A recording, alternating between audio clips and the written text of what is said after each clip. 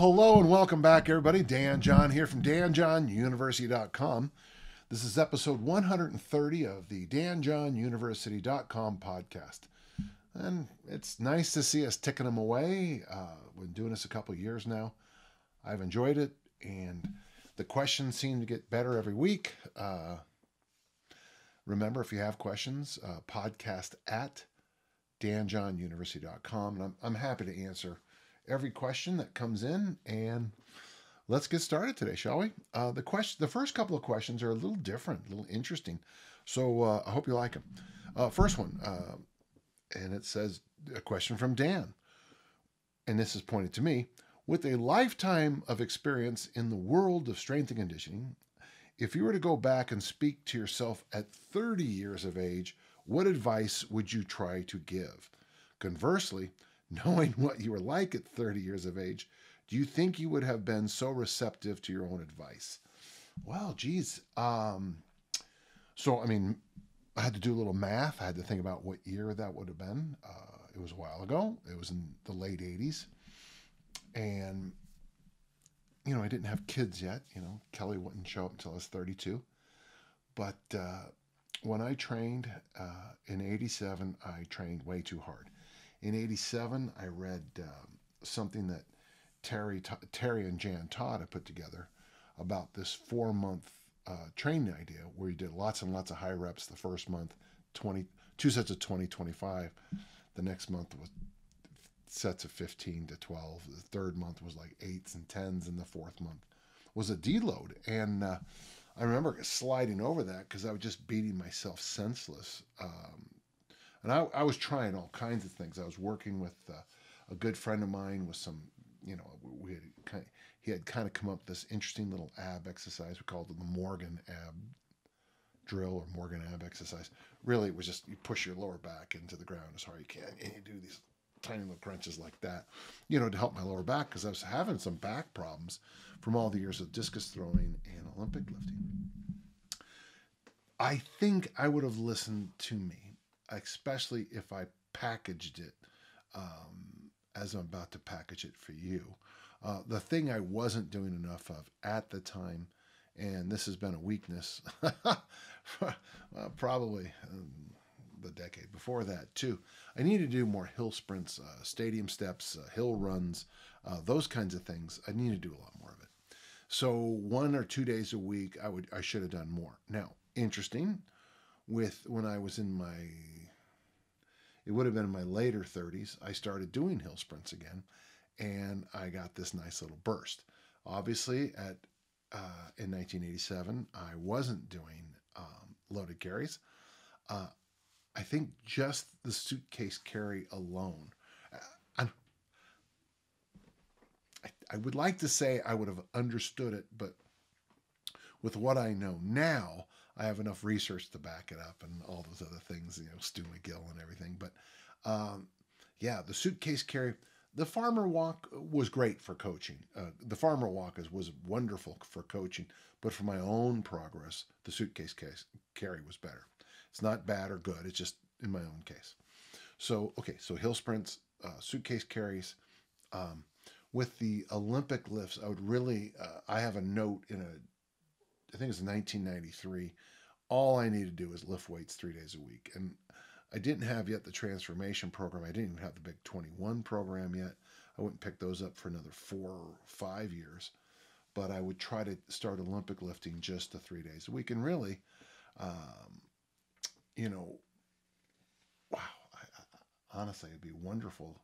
Gosh, it'd have been wonderful if I'd have had the easy strength template there. Huh? Wouldn't, wouldn't that be great? So, clean and press, three sets of three, snatch, three sets of three, clean and jerk, maybe three singles, front squats, honestly, two sets of two, suitcase carry. Um, two days a week, do the hill sprints. The other days of the week, just do my discus drills. There's another whole area that I didn't. I didn't do any discus drills back back then. Everything was just throw, throw, throw, throw, throw. My workouts lasted forever, and I never improved because the bulk of the time I was training, I wasn't really. Um, I mean, I was it was I was walking or, or running back and forth, getting the disc, the discus, the disc guy, um, uh, it was just not a good thing.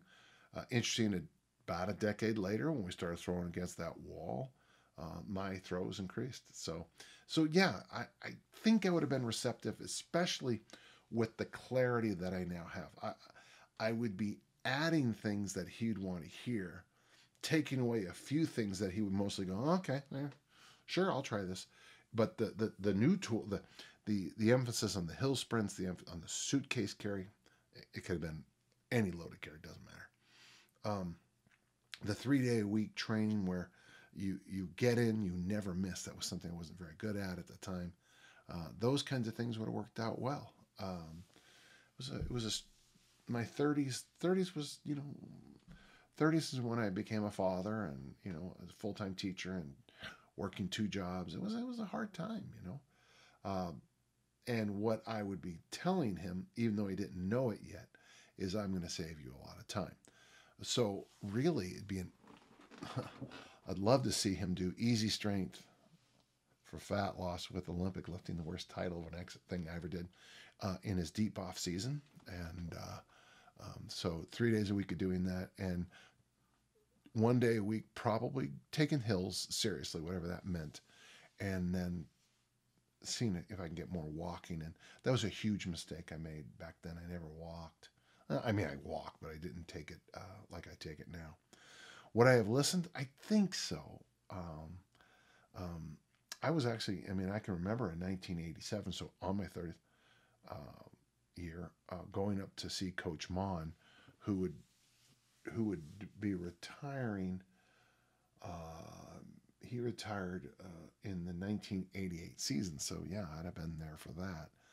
Um, and sitting down with Coach Maughan, uh, and and I just asked him to go over I mean, here I was as MVP. His, you know, he he once said that I was the finest thrower in the history of Utah State, which I got to tell you, folks, that is really high praise. And uh, and I and I sat down with him. I said, "Can you go everything?" And I got the notes uh, in one of my journals somewhere. And just having him go through these things, and everything he said was so simple. Um, he was he I overtrained and that was always my mistake. You know, he was real big about you lift weights three days a week, you throw four. And I kept trying to lift weights 20 times a week and throw a thousand, and it wasn't right. Uh, I would have thrown more against the wall. I would have done more drills as a thrower. But I was, I think I was receptive. And Dan, thank you for that question. It's a good question. Uh, I like it. You know, uh, easy strength for fat loss with Olympic lifting, it might be the best, some of the best stuff I've ever put together. And uh, gentle listeners who don't know what I'm talking about, don't worry about it too much. but uh, one example is that you know clean and clean and press, three sets of three, squat snatch, three sets of three, clean and jerk, couple of singles, couple front squats, suitcase carry, go for a walk, and it it can be that simple. Uh, you know, mix it up with you know do that for three weeks and then throw the ab wheel instead of the suitcase carry and then you know toss in things and see how they work. It, don't don't work too hard thinking about it. Um, I think easy strength for fat loss for Olympic lifting might be the best thing you could ever do as a discus thrower. And uh, that's and it, it, that would be something um, I, I, would like to have shared with him. So thank you, great question, I appreciate it uh, on a follow up and very close to this. And, and, and again, a very kind uh, statement here. Uh, Jeff says, You have been an athlete, academic, educator, administrator, coach, writer, fitness professional, Instagram sensation, oh yes, etc. Do you have any advice for people looking to have eclectic careers while prioritizing family and community? So just for the record, I did ask my daughter about this. I said, "Hey, this this is an interesting question from this guy." And so I talked to her for a while and she gave me some feedback. So here we go. I know that's a lot, but there are really uh, are all really of one piece to me. It seems like like like doing it while remaining healthy, for example, sleeping, is going to be a challenge. So yeah, so when you have when you're trying to like for example, most of my uh, most of the time my daughters have been alive. I would say, and when I mean most, I'd say 99% of the time, I've had two careers at the same time, either as an administrator and a professor, or as a uh, high school coach and a professor, or a professor and a professor in two different schools. Uh, writer, of fitness celebrity. Somebody called me a fitness celebrity. I thought that was kind of funny because, yeah. Well, how do you balance it? For one thing, and I'm going to tell you from the heart, Jeff, um, you know, I got that goal setting course over at uh, Dan John University, and there's there's some things in there that really I've been doing a lot of the tools for a long time. In fact, just before I got on this, I, I ordered two books. I didn't know Earl Nightingale had written these two books, and I understand they're compendiums, so maybe they you know they took all of his articles and smushed them. Doesn't matter. I've been listening to Earl since what well my twenties, and I and so I went out and bought a new book, but there's there's some things in goal setting, goal achievement, um, success uh, authors that have helped me immensely. So the things that help me the most is that there's the first one is that five two assignments. Well, what do you want to be doing two decades from now, two years from now, two months from now, and then today and tomorrow? And from there, I build out the pirate maps, I build out the shark habit stuff. I think that stuff helped me because what it I mean, I've been goal setting my whole life, so it's it, it's just normal for me. But when I goal set with a vision of two two decades, twenty years, um, it always includes grandchildren and children and you know neighbors, and it, my vision gets much more broad when I think twenty years down the line. Know, when I'm in my mid 80s or whatever, and it, it changes the way I address things and look at things. So having that, just if you just did it, what do I want to be like two decades from now and two years from now? Just that conversation and look at it, you know, your finances, look at it, your your body, and you seem to already nailed that one. Uh, you said family and community. Look at the, all those things. Um, and what you'll find is that you, you'll realize that if you decide to have a short term answer now, you decide to go on massive amount of drugs and you're going to take all these amphetamines, you're going to do all this other stuff you know, lose a you lose 20 pounds in the next, you know, five weeks to, to look good, you know, on the beach. When you step back and look 20 years from now, it's like, okay, that's just five weeks. That, you know, that's how can I keep doing that? And it's it's real hard to keep doing amphetamines for 20 years. Uh, I don't have any personal knowledge. I was just I'm just I'm just thinking. So and then once you go through that kind of thing, the the, the five two assignment, you, you think about your long term goals and what you want to be like, and what you want, and the kind of home you want. And I think you have to be clear. I mean, uh, do you want a bedroom for every child? Do you want a bathroom for every child, or do they have to share bathrooms? Well, if they share bathrooms, then you're going to have a whole bunch of other issues downstream, which is fine. It's all good as long as you're ready for it. Um, start, you know, uh, uh I often shop with 20 years later in mind. You know, when I buy this, you know, how long, you know, I've got some kind of, there's a couple things. In fact, as I'm looking on top of my desk here, I'm like, yeah, that's good. I, that's kind of cool. I'll keep that. And then it's like the thing next to it's like, why do I have that? And, you know, sometimes you have to say, well, you got it because it was, it's a good memory, which is just fine.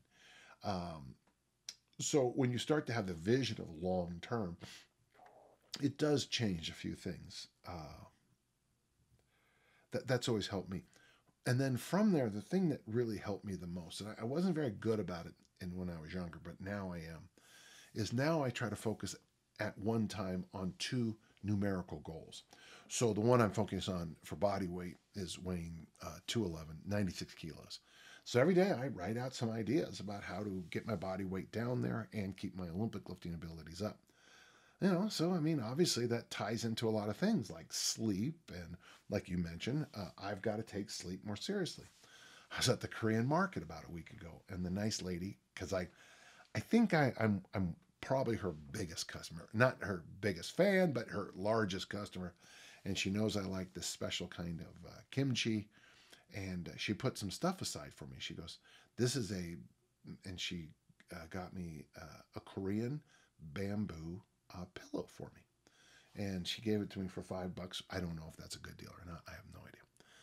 But she told me because we one time we talked about meditating, and she felt that when you meditate, you it, it helps to have the head a certain way. So I've been trying out this new pillow. Don't don't worry about getting the right one.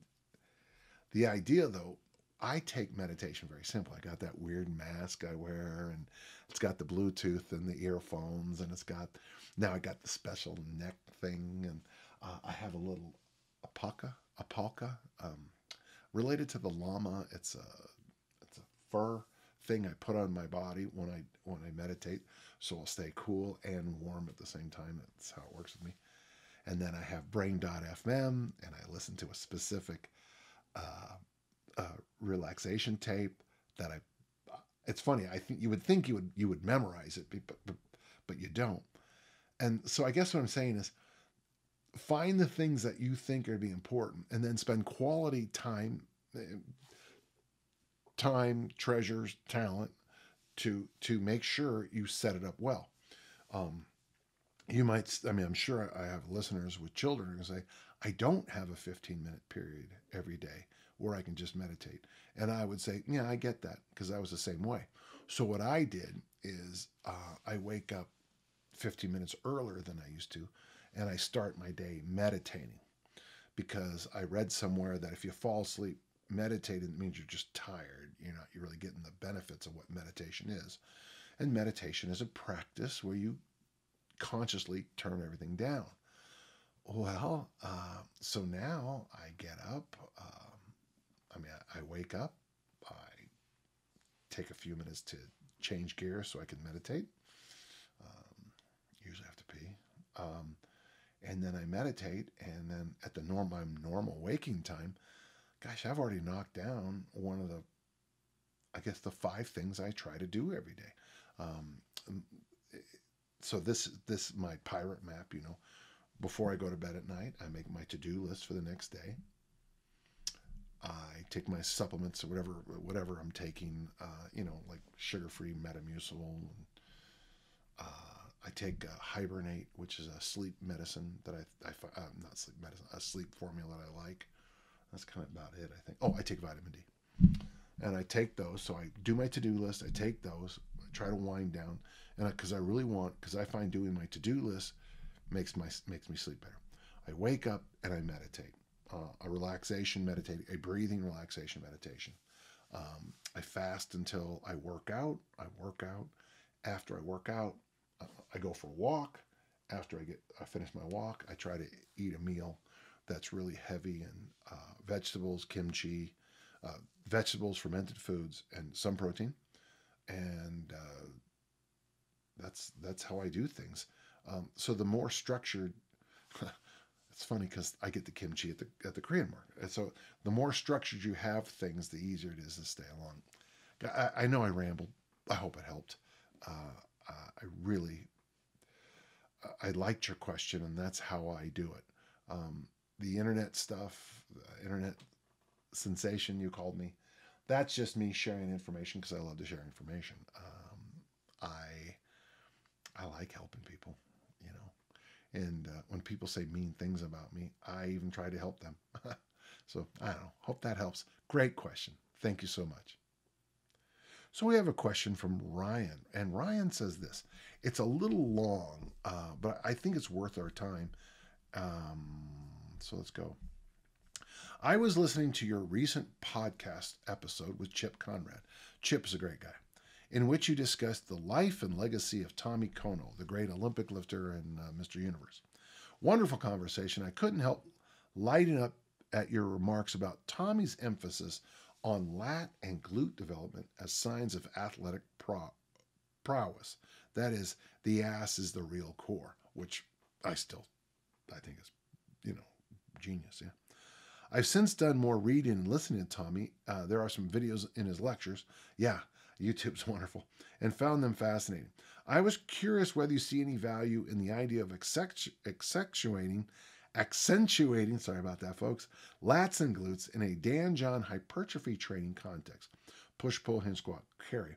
I know Bret Contreras is a big advocate of progressively loading the hip thrust and that you already speak a great deal about the value of vertical pulling.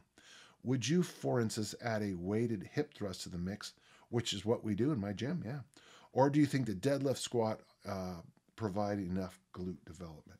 I really wish you, uh, Ryan, you would listen to one of my workshops uh, when I talk about the movement matrix. If you don't know what I'm talking about, um, the course on my site, uh, Advanced Easy Strength Topics, goes over all this.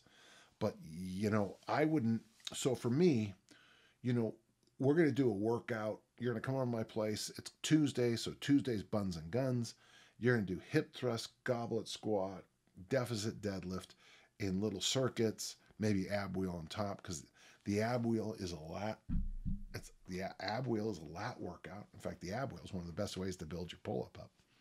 So yeah, I think so. Yeah, so obviously right now I'm Olympic lifting a lot. So when I Olympic lift, um, I got to tell you, I'm glad you said this because it was just days ago that I talked to one of the people I train with and I said, let's make sure I get the glute loop out and I do my hip thrust and my clamshells. Because as an Olympic lifter, I think you need levels of glute conditioning, you know. Um, you know, you get tired. I, you'll see this with some of my Olympic lifter friends. As when they get tired, they, they their posture goes into a really weird place, and uh, in there because they're you know you're you're doing a lot of squats and a lot of snatches, a lot of cleans, you know, you're trying to save yourself and your posture kind of turns into a little bit of a comma, which is something I don't think you want. So yeah, I I, I very much think it's okay to do uh, a hypertrophy. Buns and Guns is a hypertrophy butt workout and a hypertrophy arm workout. And the other days a week we do squat and deadlift and things like that. So I think you're right on here. Uh, I know we're talking about aesthetics here, but I'm just curious about how you might approach this from a stand standpoint of exercise selection and programming, even if it's only as a thought experiment. I already did the thought experiment for you, Ryan. Um, if you really want a lot more, just find any of my, even in my bounce workshops, you'll find those on the YouTube site. I go into this some, uh, but I, yeah, I agree with you.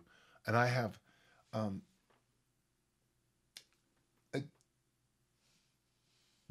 when you're talking about the glute, I think you got to be careful about saying hypertrophy or strength or power because I, the, the glute is such a big engine and the lats too that you need all kinds of reps and set schemes to get the best and the best out of all of it for you. Um, the glute is one of the. I mean, I'm sure I'm sure you could build up a superstar if they are born right with just like I don't know deadlifts or front squats. You know, that's it. That's just one exercise. But for the bulk of us, I think you need a mix. Uh, not just a mix of exercises, but a mix of reps and sets too. Thank you. Great question. A really great question. We have a question from Mark.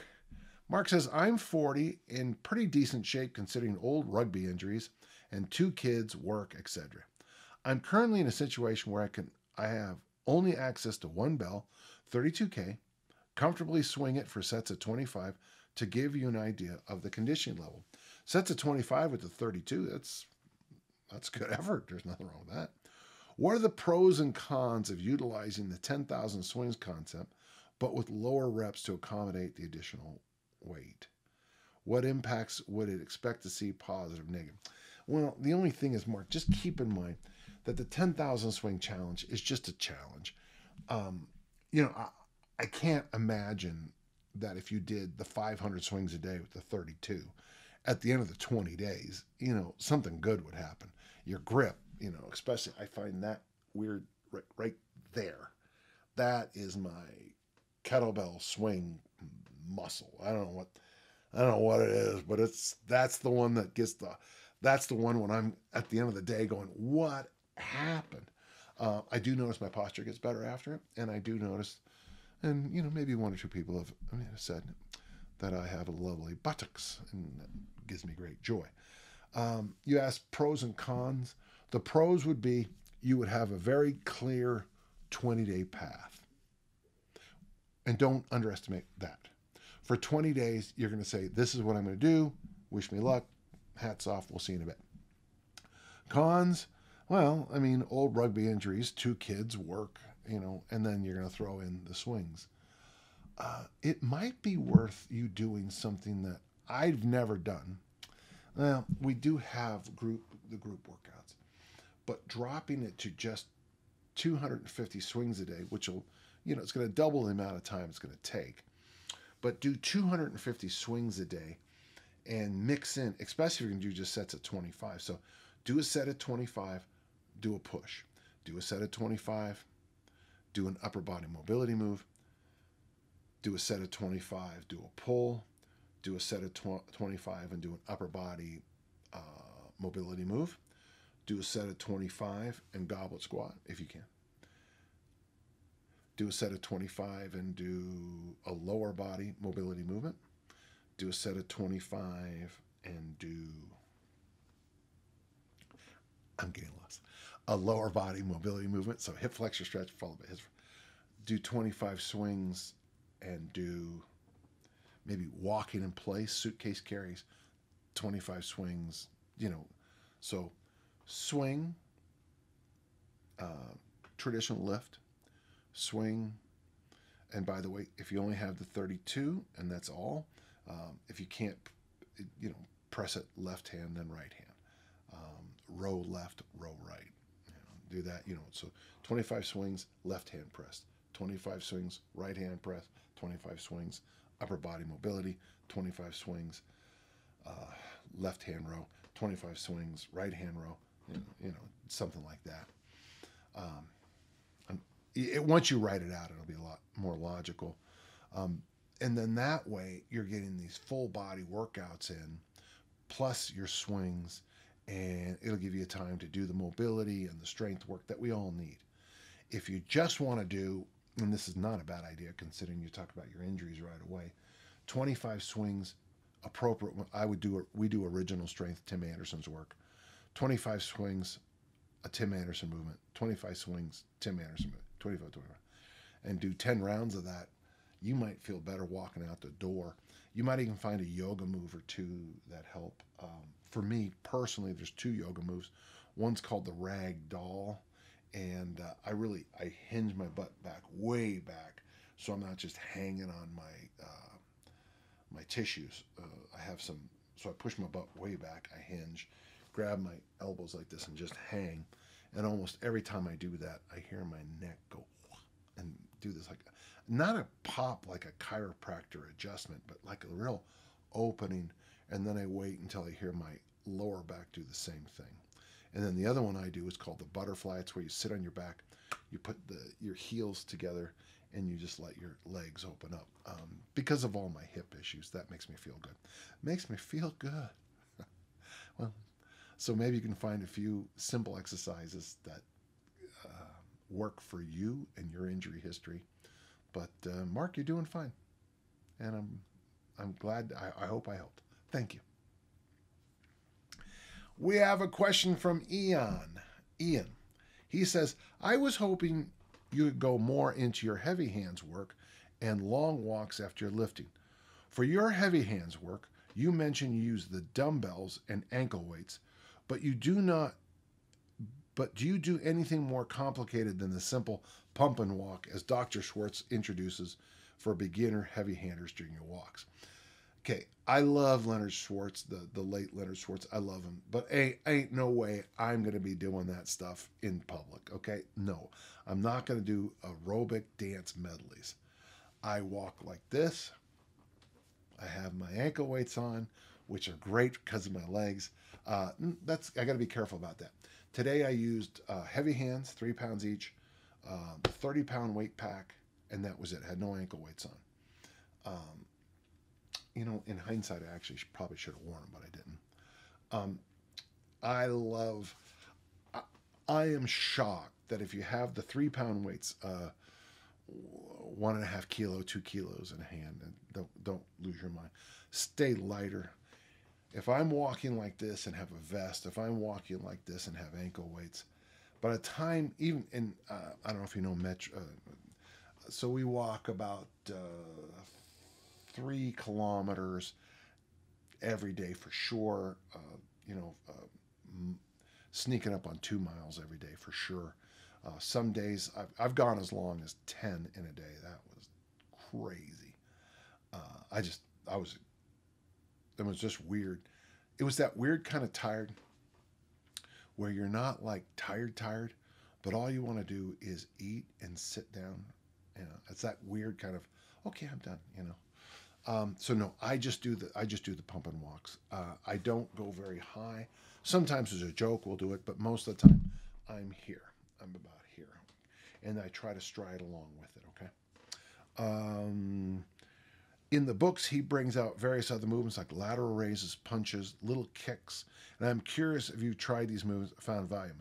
Um, we were doing lateral raises for a long time, and um, we just stopped. Uh, I, I just think the heavy hands pump and walk are all you need. But I, if you like it, do it. And you know, um, you know, once the weather starts to improve here, and once I can get back into the mountains, I can do a lot more stuff in the mountains with all the trees around uh, than I do in my neighborhood here in Murray. I mean, I live in a respectable place, for God's sakes. um, finally, how long is long when you're talking about your walks? Uh, every day, at least a half an hour. Um, I prefer more like 45 minutes, but you know, you gotta, you know, you gotta live what you live. Uh, weekends, I try to get at least one one hour walk in. Yesterday's was just delightful. Um, I was supposed to meet up with my daughter at the ice house, and uh, I said okay. And I looked at the little thing. It's oh, I'll be there. And I walk for an hour to, on the way there, and I realized that I was gonna be late because it was so much farther than I thought it was. When you drive, you forget how far things get. so yeah, so and if you can't, like once a month, it'd be great if you could really. I have two friends that when the weather gets better, we're to do a, a, a marathon, 26.2 mile walk. Just walk it. And uh, the last time they did it, they did it with a steel mace. I'm going to do it with very light, uh, two pound and actual heavy hand hands. So I'm gonna, the strap will be, uh, the hands, the soft part will be here, and the strap will be on the back. So I'll be able to relax my hands the whole time. Uh, and you just walk, you eat a big lunch about halfway, and you just that's all you do. That's the whole day. Maybe once a month, once every six weeks or so, go for a long one, something that really challenges you. Not not challenges. That's not what I meant. Something that really is like, okay, that was a long walk, but most of the time you'll find 30 minutes, 45 minutes to be pretty good, and pretty good is pretty high praise. All right, great question, Ian. Thank you. Oh, we have another question. Um, uh, from an Ian, maybe the same person, huh? In your recent episode, you said quiet elbows as a cue for the kettlebell clean. This has been a personal revelation and is so incredibly simple. I work really hard on making that stuff simple. Stupidly so. Yeah, thank you. And there is lies your genius. It's true. Roll with it. You know, you know, when I was young, uh, I wasn't the best student in the world because I had uh, squirrel. I had uh, my daughter. Uh, she's a school teacher, and she she goes, "Oh yeah, Dad, you have that. You had this condition." So I had a speech impediment. I had this. I, I didn't have a learning disability, uh, and uh, so I don't know if I ever really shined as much as I could as a student. But once I started doing, especially when I got to college, fields that just kept me riveted, I was pretty good student. So genius is a stretch, but good student I'll take. I'm wondering if you have a short list of cues that apply to a form check of any other number of lists. A cheat sheet of, of sorts that uh, of your favorite quick corrections that you share with the masses that are easily digestible and remembered would be amazing. Sure. Let's just let me just do the kettlebell six, okay, for you. Okay, let's start with the kettlebell snatch. The snatch, and the way I teach it, doesn't start from the swing.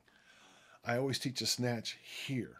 So for me, now, obviously, for the first one, you got to get it up there. So, okay. So you're going to do the snatch test. You can do all 100. So it's 1 plus 99.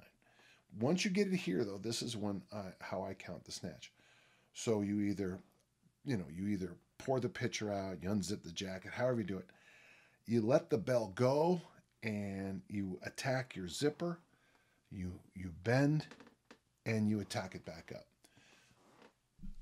The key, I think, to getting the snatch test done easily is not swing top down, but starting top from the top, throw it down, stab it up, throw it down, stab it up, throw it down, stab, stab it up. Goblet squat, yeah, it, you push your elbows out, your knees out with your elbows. That's that's what the goblet squat is, and I know because I'm very good friends with the, the person who invented it. Me. Uh, when it comes to the clean, quiet elbows, that's a big one.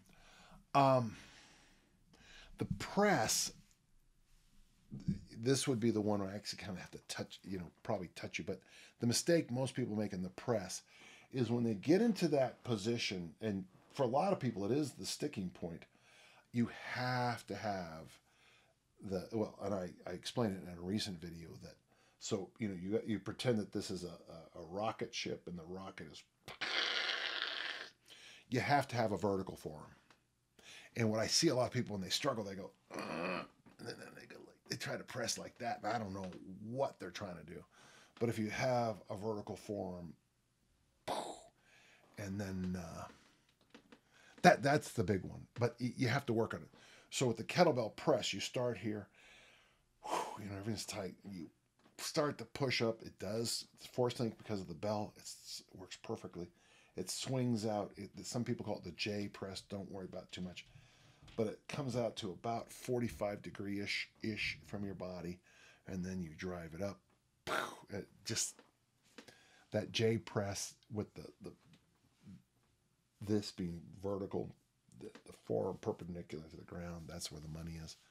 Um, ah, the swing, uh, hinge plank, hinge plank, hinge plank. So if you don't know how to hinge, don't don't try to swing. If you don't know how to plank, don't try to swing. Which is why, even though I'm a master kettlebell instructor, both for uh, Dragon Door, the RKC, and uh, Strong First, um, I think I take longer to teach the swing than any person anywhere. I mean, I, I go to these box, they call them boxes, and they got these people in for the first day and they're having them swing. And it's like, you might as well just have them drink some Jack Daniels and drive a car as fast as you can because you know, this is a traffic accident. And on the Turkish get up, don't think Turkish get up, think Turkish get down. And I always add the press. If just look up my name on YouTube right here, Turkish get down. I think there's three videos on it. I don't know why we have to keep making it, but we do. So, uh, so you you press here standing, you get into the cross country ski position. You press, knee comes down. You press, windshield wiper the the in this case would be my right leg press. Uh, hand goes to the ground. So now I'm in the kneeling windmill position. I press. Uh, I sweep through, tall sit, press to my elbow, press, roll to my back, floor sit, press, grab with both hands, bring it in, roll to my side safely, put the bell down. If you do Turkish get down presses long enough, and then you you'll just be amazed how simple the Turkish get back up is. Um, well, that's kettlebells. And if you want more, Ian, just you know, ping me and just make sure you tell me what piece of equipment. I got the sense it, you wanted kettlebells, so that's why I did it. That was a fun question, okay? Lawrence uh, asks a question, and it's a tough one. How would you suggest building muscle and strength in the lower body for a 63 year old? Well, you know,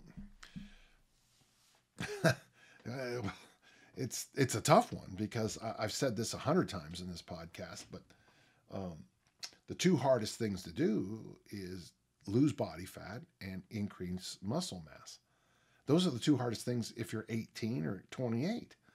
Uh, increase in body mass, uh, lean body mass uh, at age 63 is is is just a little bit harder than it was at 23 so for me, what I would recommend, and uh, I mean, go to the workout generator, Dan John University, and just you know put in the equipment you have and just do it. That's number one. You got to be lifting weights. You got to be lifting weights. Three sets of eight, three sets of ten, five sets of five. The the basics, the basics. It's got to be a push. There's got to be a pull. There's got to be a squat. There's got to be a, a hinge. I think you should do loaded carries. Um, that's going to take care of the strength. I guarantee it, unless there's an issue. For the lean body mass, as you get, oh, and then you, when you finish that workout, you go for a walk, and that'll take care of the lean body mass. It's just hard And the mistake you're going to make, Lawrence, is, um, and this is what usually happens, is people try to to get all this done in. Uh, oh, you know, give it a year. I mean, kind of kind of what I'm doing with my body composition goals. You know, I'm giving myself an open ended. I think it. I mean, the goal is get down to 211, but I, I didn't say I would do it in a year. I mean, I, I went from 251 to 231 in in quickly, and then I got from 231 down to 218, and now uh, I had a little bounce back up because of the holidays and life, and you know. But now I'm, I'm just like it's no problem. We're, we're we're trending in the right direction. With your strength, you just want to trend in the right direction, and you do that by doing three sets of eight, three sets of five, five sets of five, five sets of three, change switching exercises, coming back with another set of you know those. Yeah, so that's how you can do it. Uh, does eating protein before you train help? My friend Tom Fahey told me, yeah, absolutely. But he said it's much less than what people think. I mean, I've got those protein drinks upstairs that are 30 grams each, and you you probably only need a third or half of that for most people um, before you work out or, or immediately after. I, I, guess you could get one of those protein drinks and do half before and half after. Um, one thing we did experiment with my high school athletes that worked freakishly well is they uh, set an alarm clock um, about halfway through the night. Now you got to be careful at 63 because if you wake up at 63, you might not be able to go back to sleep. So you have to make sure you have good sleep hygiene. Halfway through the night, they would drink half a protein drink, and upon risal, they would they would uh, drink the rest. So even though it was only, but what was happening is they had that long, you know, they they fasted from protein for a while. Say dinner, we also experimented with uh, protein right before dinner. If it doesn't work for you, it's not going to work, and if it does work for you, it's going to work. But it's a, of all the things I've ever tried, that's the most uh, binary. Um, the protein right before you go to bed. Um, some of my athletes did it, and it was like, Coach, I can't sleep. I can't. I can't sleep when I do it. Oh, okay, okay. And the next one is, it is the single finest thing I've ever done in my life. There's, there's, it's binary. Um, try it on a Friday night the first time you do it, so that you have the weekend to undo the damage of the silliness. So that's it. I mean, so uh, if you're going to play around with protein, I'd rather you play around with time protein ingestion, uh, but you got to lift weights. You just, you just have to. I hope that helps, Lawrence. Thank you. We have a question from Nico. Boy, I think we've had questions from Nico before. Nico says, "I have a question about kettlebell training. I would love go I would love to go back to using the kettlebell, but I'm concerned I might injure myself. Any advice on how to start training with kettlebells? With what movement should I learn first and how should I improve?" Well, Nico, I mean, I don't, it doesn't matter what piece of equipment you're using. If you don't know how to properly hinge, you don't know how to properly squat, um, you don't understand the basics of, you know, uh, holding onto the ground with your feet, uh, don't do anything. Um, the best thing I think you can do is find someone who knows kettlebells. Um, sign up for a session, uh, come to one of my workshops, whatever and get it done. Uh, learn. Uh, I teach uh, with Dragon Door at the RKC. Find out. Uh, I'm, I'm you know I'm doing some workshops this year. Um, find out where I am and and take take maybe take the HKC, the hard style kettlebell course, where you learn the goblet squat, the swing, and the Turkish get up. It's just not that. Uh, it's not much of an investment. Doesn't take very much time, but it may be really, really worth your your your time and effort. I got to tell you, folks, it's going to be a high bar uh, to uh, get better than the questions we had this week. I, I really enjoyed them. Uh, the questions were so good. I talked to my daughters about things, uh, about some of the questions. I, have talked to a couple people about things. So that that's exciting for me. So I really appreciate the, the great insights from our questioners this week. Remember, if you have questions, uh, no one ever sticks around for this part, so I just wait. I'm just wasting my time here. Podcast at danjohnuniversity.com. I'm here to answer questions. I'm always glad to do it. And uh, if they're this good of questions, it makes my life much easier. So, hey, and you know, until next time, no matter what you're doing, no matter where you are, let's all keep on lifting and learning. Thank you. I'm Dan John from danjohnuniversity.com.